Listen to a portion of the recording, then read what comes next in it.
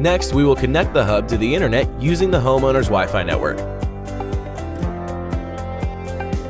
Note that connecting the hub to a Wi-Fi network is not necessary if it is connected directly using an Ethernet cable.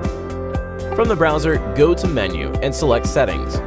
Under Settings Selector, use the drop-down menu to select Wi-Fi setup. Next, select Scan for wireless networks and choose the homeowner's network. Be sure to wait until scanning is complete before you make this selection.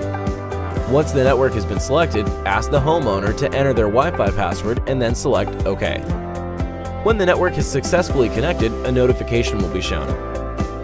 Now, let's confirm the hub connection to the Wi-Fi network.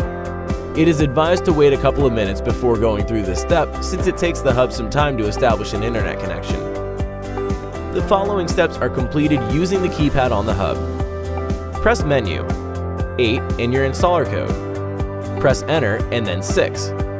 The IP address will then be announced if no IP address is found, wait a couple more minutes, then press 6 again to see if the IP address is announced.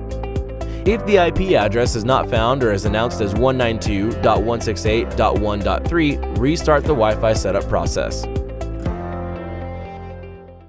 Remember, we offer nationwide UL monitoring services starting at $10 per month with no contracts, no activation fees, and your rates will never go up.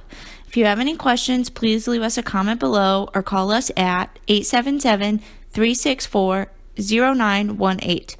You can also visit us online at advancedsecurityllc.com or check out our YouTube channel for more videos.